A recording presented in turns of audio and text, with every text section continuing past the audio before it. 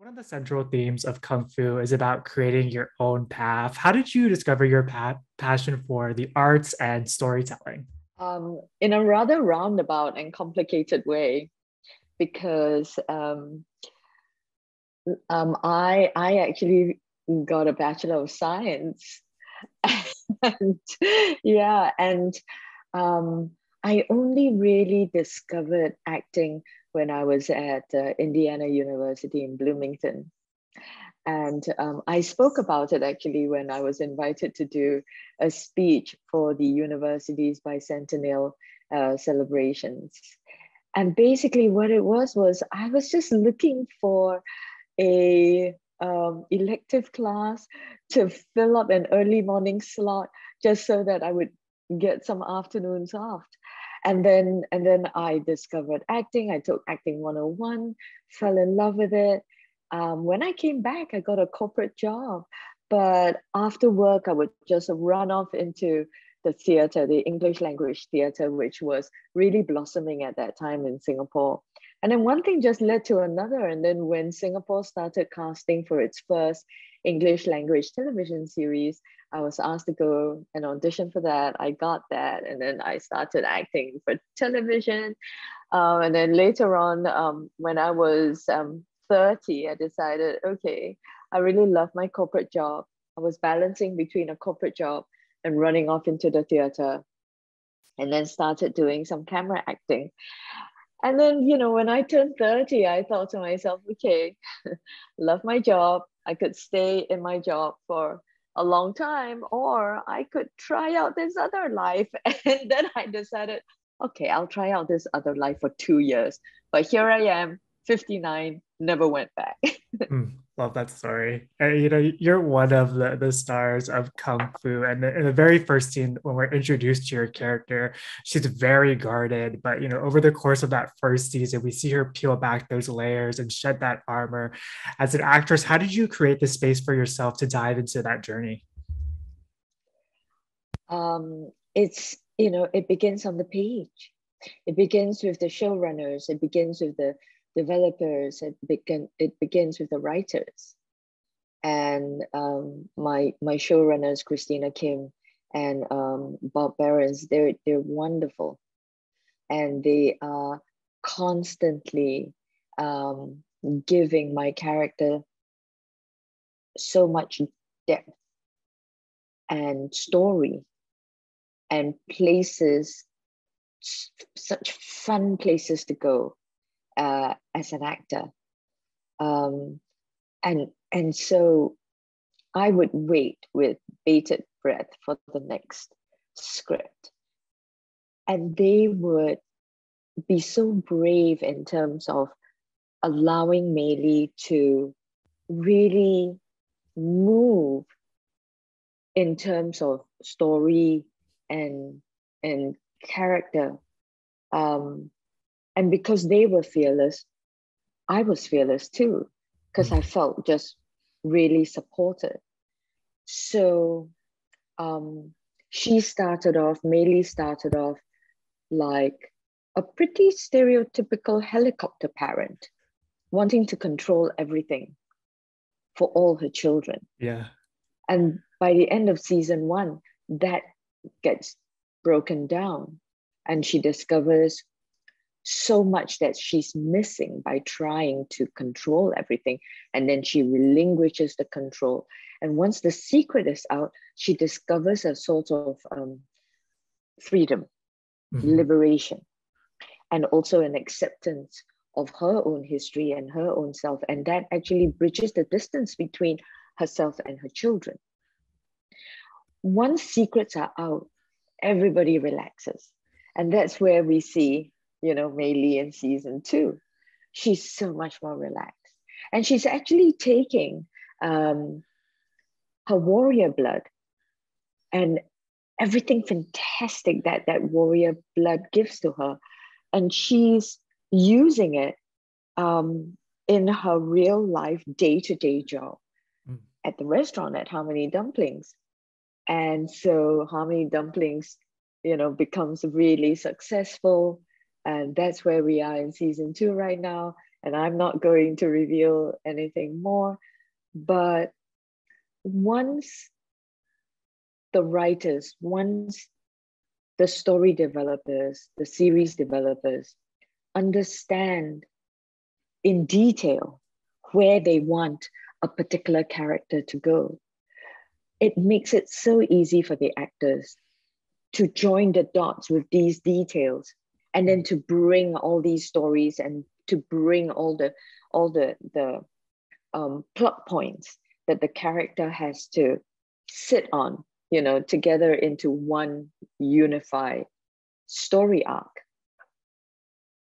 you know we've seen the highs and lows of Mei Li's relationships with her family change throughout the seasons and each is so unique. What's that collaboration been like working with your fellow actors? Is the process different just given how different each relationship is?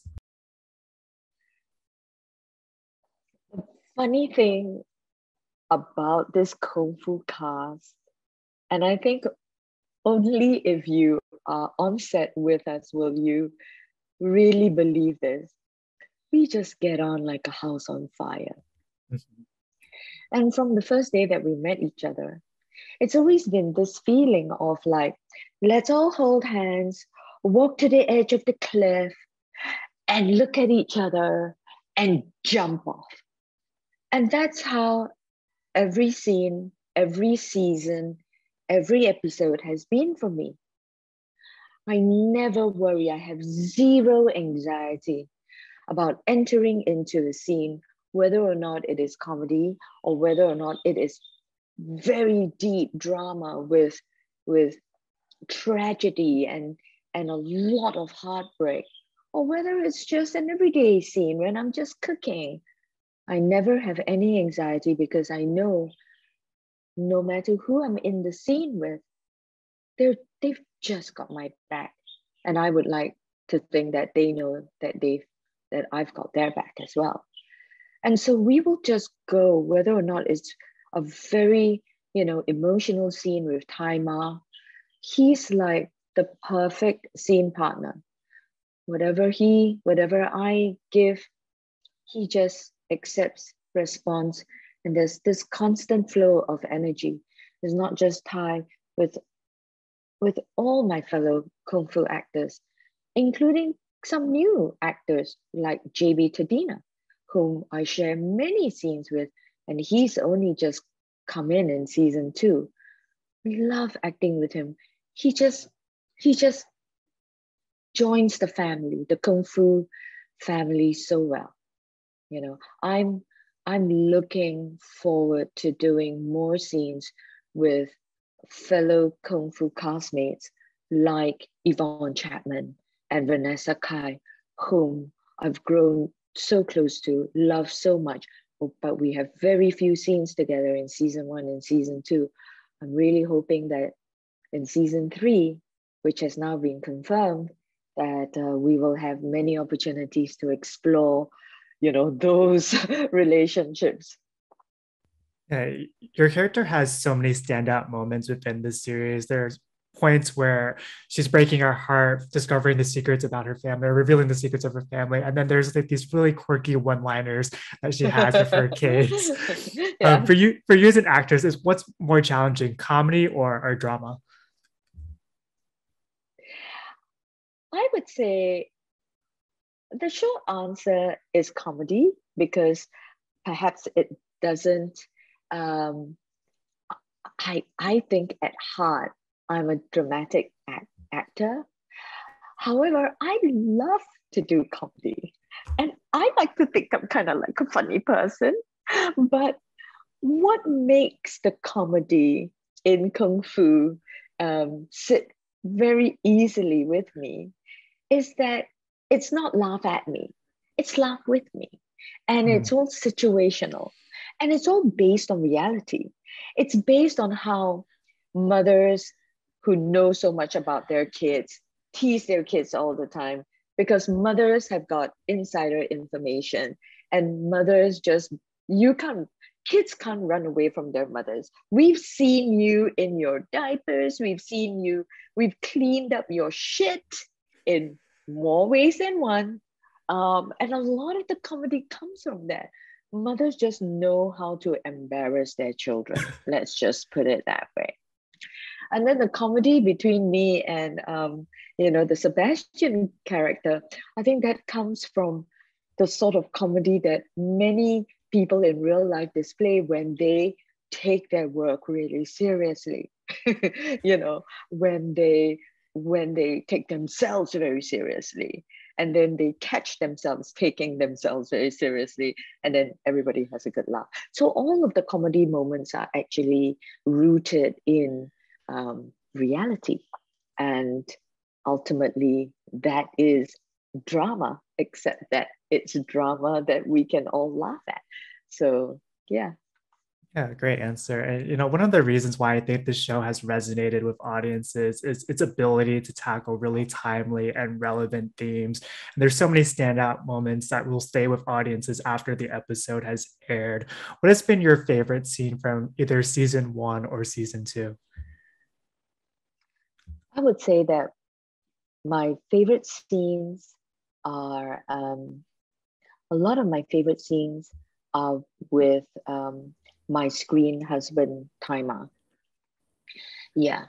Um, I think uh, I I I love exploring heartbreak. And I love exploring themes about parenting. And he and I were written a lot of scenes um, to explore those themes. And a lot of these scenes were very beautifully written. Um, until today, there is a scene of me in front of the fridge.